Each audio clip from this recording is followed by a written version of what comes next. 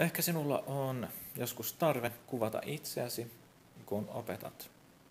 Mutta et pidä siitä, että sinun pitäisi seistä paikallasi koko ajan. Haluat liikkua. Monet opettajat ovat tällaista kyselleet.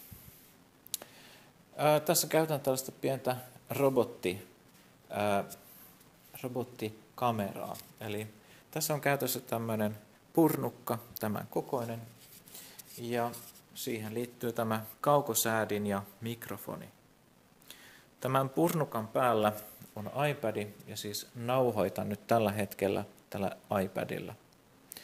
Ja kun liikun tai kun kaukosäädin liikkuu, niin tämä purnukka kääntää iPadin tänne samaan suuntaan, missä minäkin olen.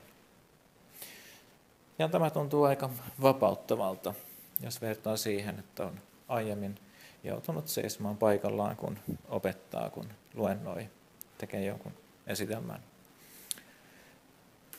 Tämä maksaa jonkun sen verran, mutta maksaa itsensä nopeasti takaisin verrattuna siihen, että joutuisit aina pyytämään jonkun henkilön paikalle, joka sitten kuvaisi nämä jutut. Ihan kiva, kiva tämmöinen pieni gadgetti. Tämä saa olla tämän perjantain video. Hyvät viikonloput.